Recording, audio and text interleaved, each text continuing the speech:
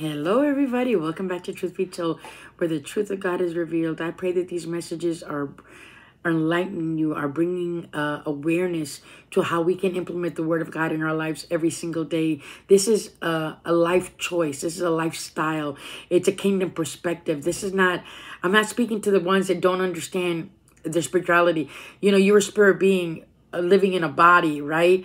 And this body is a temple of God. It houses the temple, houses the Spirit of God, which is inside of you. And that means that we have an assignment, we have a purpose, and we are to live differently. We're to sanctify ourselves daily as we walk in this in this fallen world, right?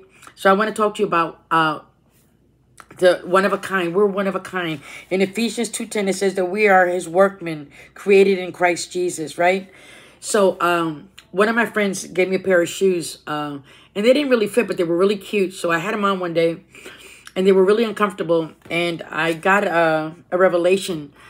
And God says, why are you trying to fit into someone else's shoes? You can't fit into anyone else's shoes. I made you specifically uh, for one purpose, for a different purpose. You you can only fit in the shoe that I gave you. See, God made us, God made me to be one of a kind, just like he made you to be one of a kind. I'm literally one in a million.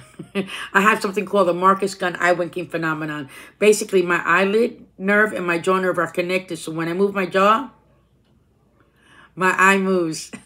Pretty cool, right? So when I tell people I'm one in a million, I'm not kidding, baby. So anyway, look it up.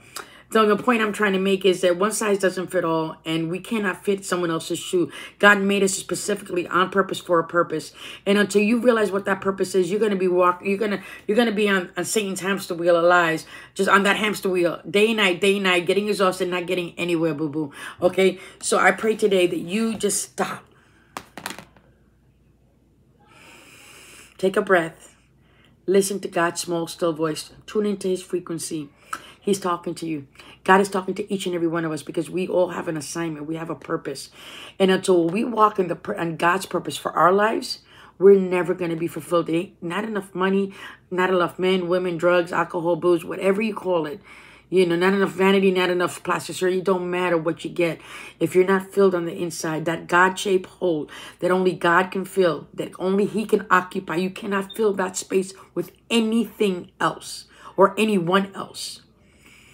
It's like putting a band-aid on an artery bleed, honey. It just don't work. You bleed out. So I pray that you get this message into your spirit and that it bears much fruit for the kingdom of God. That you understand that you are special. You are made specifically. It's like that piece of puzzle. That only one piece of puzzle that fit. That's you, baby. And without that piece, the puzzle is not complete. Don't you get it? You are the body of Christ. We need you. So I pray that you stand up and take your proper place in the kingdom because I know I'm fulfilling my purpose, okay, every day.